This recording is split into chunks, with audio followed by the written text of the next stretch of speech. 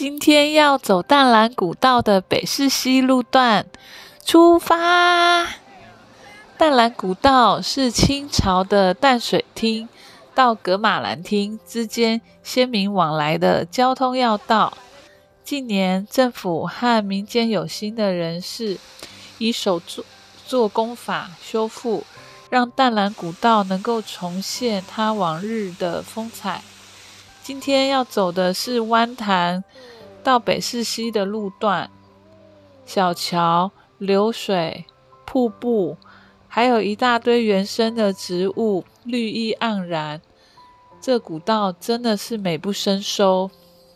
早期没有桥梁的时候，居民会在河道摆放石头，以跳石钉的方式渡河，惊险刺激。河水清澈见底，小鱼就在脚边游来游去，溪水透人心脾，真的舍不得走。